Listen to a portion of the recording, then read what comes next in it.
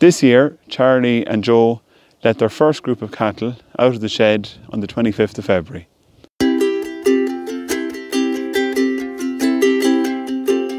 Today I'm on the farm of Charlie and Joe Keogh in Legan, County Longford. Charlie and Joe have long realised the benefits of getting young cattle out to grass early in the spring in terms of increased weight gain and reduced costs.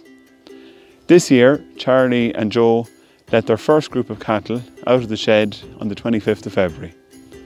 Savings are to be made when cattle are out on spring grass, they no longer have to be fed expensive meal and silage, but the big win is in terms of improved animal performance.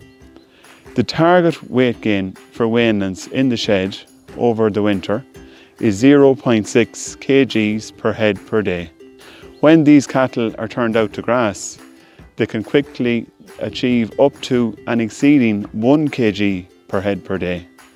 Therefore, the earlier these cattle get out to grass in the spring, the heavier they will be later on in the year.